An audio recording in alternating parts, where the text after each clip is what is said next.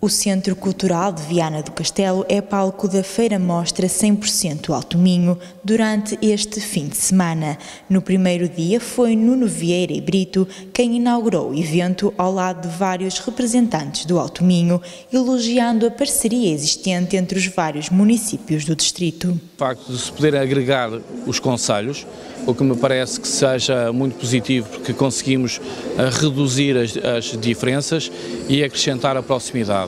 E nesse aspecto, parece-me que essa era a terceira nota que eu queria dar, é que desta agregação, desta força, conseguimos criar estratégia e conseguimos criar internacionalização. 100% Alto Minho leva os visitantes a fazer uma viagem de sabores de Melgaço a Viana do Castelo.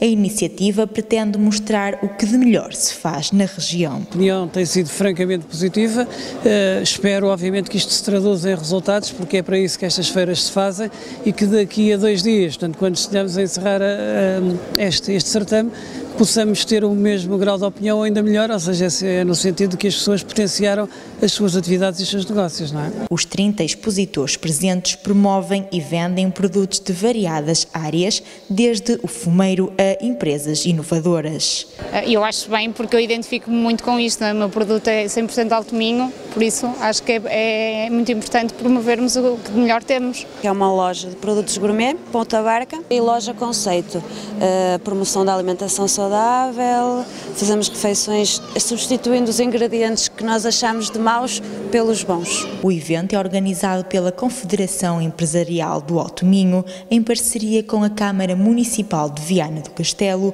a CIM Alto Minho e o Instituto Politécnico de Viana do Castelo.